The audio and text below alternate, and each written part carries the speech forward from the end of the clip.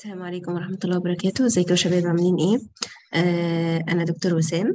آه امبارح ابتدينا نحل أول آه امتحان معانا أول مراجعة. طبعا أنا ما كنتش عاملة الصفحة دي على على اليوتيوب قناة لسه ما لسه عاملاها علشان خاطر كذا حد من الولاد قالوا لي يا دكتور إحنا عايزين مراجعات وكانوا عايزين يشوفوا آه، الحكايات دي الحكاية دي على أو الفيديو يكون عندهم على اليوتيوب علشان يقدروا يتابعوه وأنا حبيت إن أنا أنزل مراجعة للكل يستفيد إن شاء الله. آه، طبعا لسه في في موضوع رفع الفيديوهات وال- والحكاية دي على اليوتيوب بتاخد معايا وقت فبقيت ال- ال trial بتاعت امبارح بقيت الامتحان لسه بيتحمل آه، عشان تقيل شوية بياخد وقت. فحبيت أعمل لكم فيديو سريع لأنه جالي كذا comment أو جالي كذا آه، سؤال عن الملزمة لأن أنا قلبت فيها امبارح شوية فلفتت نظر آه، كذا حد منكم فحبوا إن هو يسألني عن الملزمة أكتر. طبعا الملزمة بتاعة ال- البيولوجي بتاع ال EST 2 دي خاصة بيا. آه، أنا عاملاها مجمعة فيها آه، آه، كل كل المعلومات اللي المفروض إن إحنا نكون عارفينها في الشغل بتاعنا أو في ال- ال course بتاع البيولوجي بتاع ال EST2 آه، طبعا ال biology a course معروف ال topics بتاعته وفي عندنا sources كتيرة لل topics بتاعت البيولوجي في عندنا كتب ال SAT القديمة اللي إحنا عارفينها كلنا كنا بنشتغل منها. وال sources أصلا موجودة لكن آه، مع نزول ال topics على الموقع بتاع ال EST فضفنا حاجات للملزمة.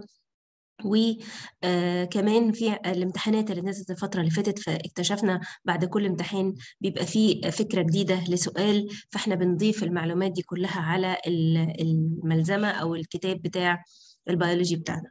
آه، ال- الملزمة مشروحة بشرح مبسط جدا. آه، في آه، يعني متلخصة في صورة points في بعض ال expressions محطوط لها definitions مكتوب إمتى هنحفظ الحاجات دي؟ لا دي مش هنحفظها لا دي هتبقى بس للقراءة أو لمعلومات في حاجات كتير بحب إن أنتوا تقروها بس مش عايزاكم تحفظوها لأنه الحفظ شوية بيسبب لبعض منكم مشكلة. ففي حاجات مش عايزين نحفظها في حاجات بس مجرد إن أنا أقراها ومعمولة بطريقة أو بشكل معين في الملزمة بتاعتنا بحيث إنها آه، يعني تلقط ال- الصورة نفسها في area معينة في ال brain طبعا أنا تخصصي أصلا neurophysiology جهاز عصبي وبشتغل على آه، فص معين في المخ آه، بي- بي- بيلقط الصورة. أنا دي فكرة الشغل بتاعي. طبعا بت- بتفهموا وتتعلموا المعلومة وكل حاجة بس في الآخر أنا بلعب على ال- ال- المخ زي ما أنا بقعد أحفظ وأخزن المعلومات وال- و- وأتعلم وأفهم وأخزن المعلومات في دماغي كمان بلعب على حتة ال area اللي مسؤولة عن إن أنا آخد زي screenshot للشاشة اللي قدامي كده وتتخزن عندي فأفضل فاكرة شكل الحاجة في المكان الفلاني بالمعلومة الفلانية فأنا أفهمها أو أفتكرها يعني أسترجعها لما تطلب مني المعلومة whatever any time بقى في في المحاضرة في الامتحان في أي وقت تمام؟ آه، آه، الملزمة بتاعتنا آه، فيها آه، كل ال chapters اللي داخلة معانا في الامتحان آه، بالتفصيل. آه، في جزء بتاع ال animal وال human physiology موجود آه، في في جزء منفصل لأنه هو already لوحده آه، كبير يعني جزء كبير جدا. بنشرح ال systems بتاعت الجسم إزاي بتشتغل بالتفصيل. فده هيكون في آه، كتاب منفصل أو في ملزمة منفصلة. أهم حاجة عندي في في ال- الملزمة بتاعتنا إن إحنا بنغطي كل ال level of organization ال level of organization هي دي ال topics اللي آه، بي بي بي بيركز عليها ال EST course تمام؟ فلو إحنا بصينا على ال topics معايا كده خليكم ثانية واحدة.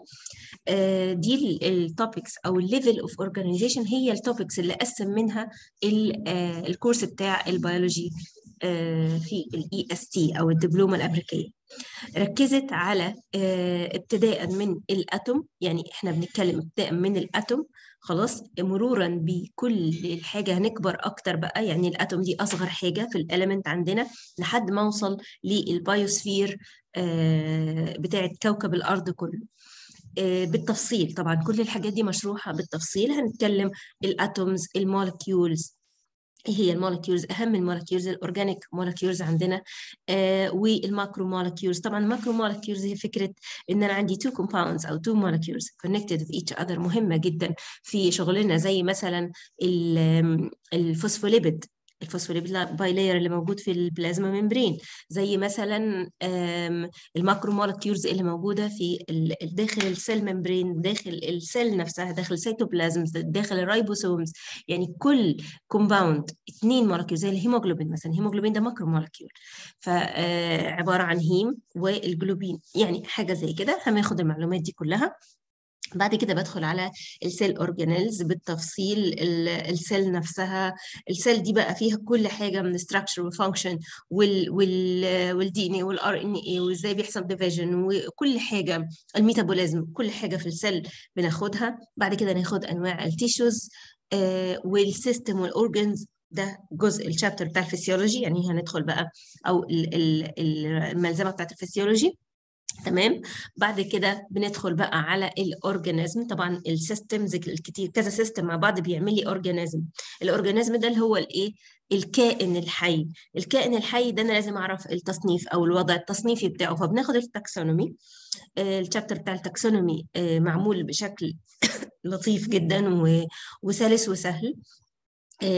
مدعم بالصور أكتر منه المعلومات. علشان زي ما قلت لكم أنا بشتغل على brain area معينة بحيث إنه بمجرد ما أفتكر الصورة أفتكر المعلومة. يعني آه هنضطر نحفظ حبة حاجات لكن أنا بعتمد على عينيا أكتر. بعد كده مجموعة من ال organisms مع بعض شبه بعض من نفس ال species بتعمل لي population تمام؟ أنا عايزة أتعرف أكتر عن ال population أفهم كل حاجة جوه ال population إذا من من هنا ابتدينا نقسم الشغل بتاعنا بقى behavior وال ecology وال evolution distribution وال relations تمام؟ مجموعة من ال populations مع بعض population حيوان و population إنسان و population نبات تمام؟ من ال living organisms بيعملوا لي حاجة اسمها community. تمام؟ طب ال community ده كلهم level living organisms. لما أنا بقى هعمل community من ال living organisms وهعمل ال interaction ما بينهم وبين ال non-living يعني المية والهواء والجبال و والى ذلك يبقى أنا بتكلم عن ecosystem okay ال ecosystem ده هعرف فيه بقى كل حاجة من خاصة بال biotic وال abiotic وال biome وأنواع ال land اللي عندنا وأنواع المية والحاجات دي كلها وال cycles بتاعت ال ecology أهم ال cycles الكربون والنيتروجين والفوسفورس وال ال water cycle بعد كده هاخد كل الكلام ده بقى وأجمعهم في ال biosphere اللي إحنا عايشين فيه as a final step uh, في ال course بتاع البيولوجي بتاعنا. دي مكونات الملزمة بتاعتنا الملزمه uh, كاملة من uh, تجميعي. يعني مش ما حدش يقول إن الملزمة من من تأليفي أو أي كتاب من تأليفي. طبعا إحنا كلنا بنشتغل من text books أساسية. متجمعة ومتلخصة بشكل معين بحيث تكون بسيطة أو قريبة ل يعني طريقة تحصيلكم للمعلومة. اللي حابب ياخد الملزمة أو اللي حابب يتحصل عليها يتواصل معايا على الرقم اللي موجود عندنا في أول صفحة زي ما أنتم شايفين. ملزمة فيها معلومات كتيرة جدا. إن شاء الله يا رب إنها تنفعكم. اللي حابب يتواصل معايا اللي حابب يسأل أكتر اللي حابب يستفسر عن حاجة معينة اللي عنده سؤال معين أو حاجة عايزني أتكلم عنها أو أشرحها يا ريت يبعت لي أو يكتب حتى في الكومنتات وأنا هعمل لكم إن شاء الله فيديوهات دايما. يمكن أنا بديت القناة متأخر كان المفروض أبتديها أبتديها بدري شوية.